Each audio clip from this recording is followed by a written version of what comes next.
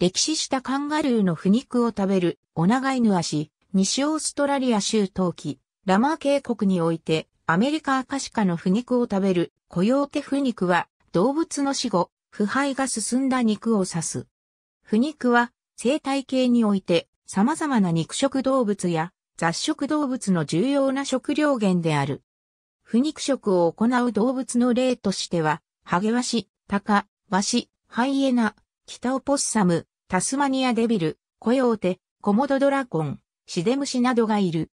シデムシのような多くの無脊椎動物は、黒バエや肉バエの幼虫であるウジと同様に腐肉を食料源とし、動物に残留する窒素や炭素を再利用可能にする重要な役割を果たしている。腐肉は動物の死後すぐに腐敗とともに形成され、昆虫を引き寄せ、バクテリアが繁殖する。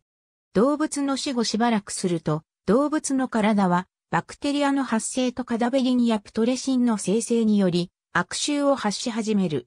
植物や菌類の中には腐敗に似た匂いを発することで虫を媒介とした生殖のため昆虫を引き寄せる種がある。このような性質を持つ植物はキャリオンフラワーとして知られている。スッポンタケはこのような特徴を持つ菌類の例である。腐肉という単語はデンマーク神話において生贄になった動物や神の怒りを買って殺された動物を描く単語として使用されることが多い。